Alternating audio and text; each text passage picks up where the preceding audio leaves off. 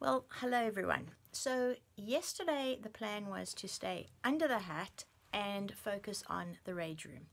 But the best laid plans of mice men and writers have gone awry and that didn't happen. First I was distracted by creating my resume, working on my resume and I have to admit, I don't think there's anything worse than working on a resume. One might think root canal, but actually with root canal, they just fill your face with drugs and you lie back in the chair and let the dentist do his thing and then you wake up with better teeth. Anyway, so I decided to work on my resume, which took most of the morning.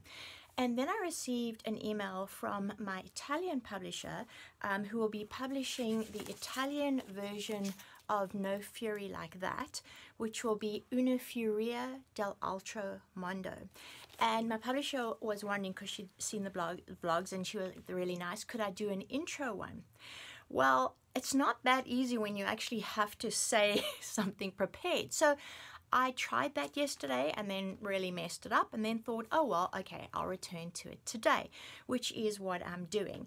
And to my happiness, um, the blouse that I actually bought to for the, no, the Rotten Peaches launch quite matches the cover of Una Furia, which is very different to the cover of No Fury like that um, which is really interesting. I think this guy is Cedar Mountain Eagle, um, who was one of who was the therapist in this book, and it's a very lovely man.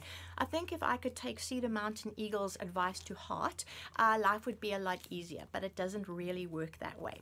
So that is the plan for today to try and get a good video for my Italian publisher, which is Edizioni Le Assassine and probably mangling that up.